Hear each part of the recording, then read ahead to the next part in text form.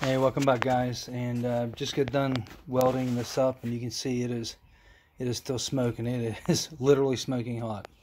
So um, want to look inside here. What we did is we took the torch and uh, heated up the four corners. I did these two sides and then welded that up, and then you know you fire up the torch again and heat up the the, the two opposing sides and then weld that up. And you don't want to get that to the point where it's it's you know glowing cherry cherry red.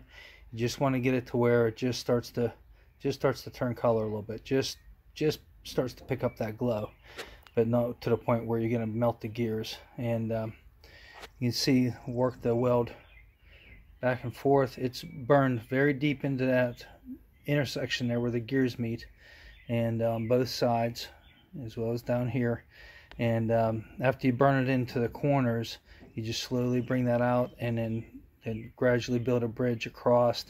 And um, and you're destroying the gears basically melting them you know getting getting the everything to the point where this is all one piece of metal now. And um, not just on this side but I've also did done the other side. So uh, wanted to uh, just let you take a look at this. And I could have went down a little bit further with um, this one here that um, I want to try and keep it away from where the splines are. Splines for the axles are down in there.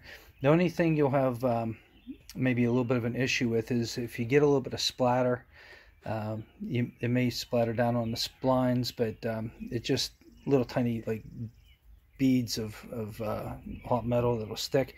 And if you slide an axle in there and pull it out it usually knocks those out so you won't have a problem. You can get a wire brush and clean that out. That's about the only problem I've ever seen with these but um, because that is so hot uh, I'm not going to touch it that's for sure. But uh, um, this is going to be left uh, probably till tomorrow and um, then we'll put the ring gear back on and um, we got the the bolts of the ring gear. We'll show you how the, all that works but uh, the ring gear fits on there real snug. There's a little bit you have to kind of you have to hammer it on but uh, uh, we use a, um, uh, like a no bounce mallet or like a uh, urethane mallet to to to pound that on. So we'll show you how that works. But um, wanted to give you this quick update and um, hopefully we'll see you in, in the next episode whenever we put the ring gear on.